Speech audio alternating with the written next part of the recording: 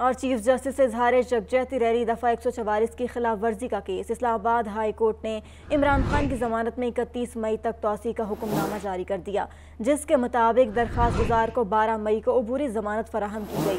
दरख्वास्त गुजार की आज की हाजिरी से इस इस्तना की दरख्वास्त दायर हुई है। अपडेट करें आपको इस हवाले से कि अदालत इमरान खान की हाजिरी से इस इस्तना की दरख्वास्त मंजूर करती है। मुकदमे की इंक्वायरी अफसर के मुताबिक इमरान खान अब तक शामिल तफ्तीश नहीं हुए।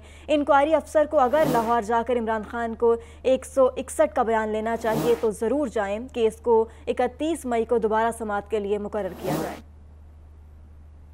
और चीफ जस्टिस इजहार जगजहती रैली दफ़ा एक सौ चवालीस की खिलाफ वर्जी का केस। इस्लामाबाद हाई कोर्ट ने इमरान खान की जमानत में इकतीस मई तक तोसी का हुक्मनामा जारी कर दिया, जिसके मुताबिक दरख्वास्त गुजार को बारह मई को अबूरी जमानत फराहम की गई।